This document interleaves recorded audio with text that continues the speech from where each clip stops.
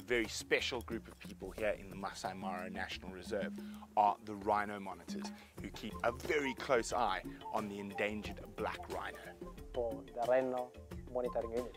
Basically, all of them are rangers that are there to protect, do surveillance, and monitor the rhinos across the game reserve.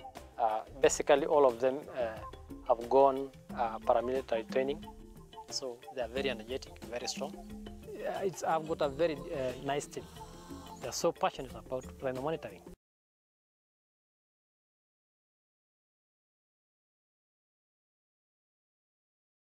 Basically, what they do when, when they find a rhino, they have got some uh, things that they must identify where the rhino is, what the rhino is doing, date, time.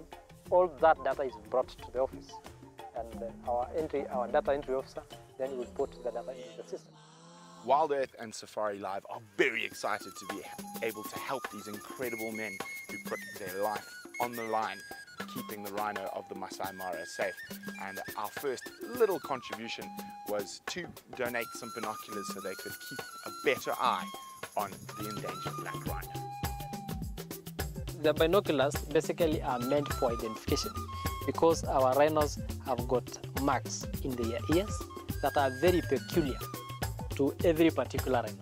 So the, the binoculars then assist to bring the, the, the rhino closer so that you can identify the peculiar marks.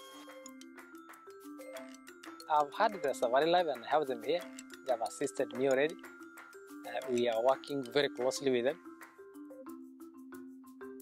Now, with the incredible work the rhino monitors and the other rangers do out here in the Masai Mara, it gives us at Safari Live the incredible experience of being able to view rhinos live.